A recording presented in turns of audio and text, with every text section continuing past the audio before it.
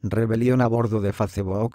No tanto, pero por al menos, este movimiento con tintes de rebelión nos deja claro que no todo el mundo, ni mucho menos, comparte el estilo de dirección de la compañía.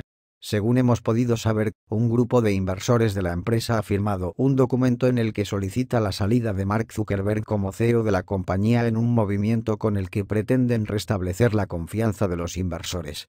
El fondo de inversión Trillion Asset Management presentó en junio de este año una propuesta para derrocar a Mark Zuckerberg de la presidencia de la junta directiva.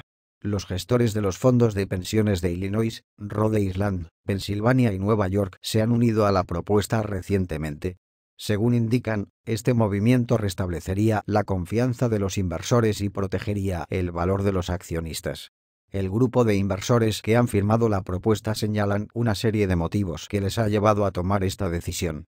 Esos motivos no son más que los diferentes problemas que ha tenido Facebook en esta última temporada. La intromisión rusa en las elecciones de Estados Unidos mediante Facebook. Todo el escándalo de Cambridge Analytica. El intercambio de datos con empresas chinas. La propagación del discurso del odio en algunas regiones los problemas de salud mental que puede estar causando la red social, las herramientas de segregación racista para los anunciantes.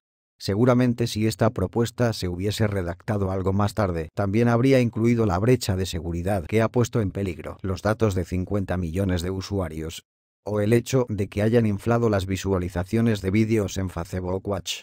Facebook está rodeado de polémicas y Mark Zuckerberg es la cara visible de todos ellos. El grupo de fondos de pensión que se ha unido a esta propuesta sabe que un CEO independiente no habría evitado todos estos problemas, pero sí creen que podría haberlos mitigado o gestionado mejor. Facebook ha crecido muchísimo en los últimos años, su impacto en la sociedad es directo y considerable. Es el argumento utilizado por los inversores para pedir una junta transparente y responsable. La propuesta será enviada a la junta de accionistas que se realizará el próximo mayo.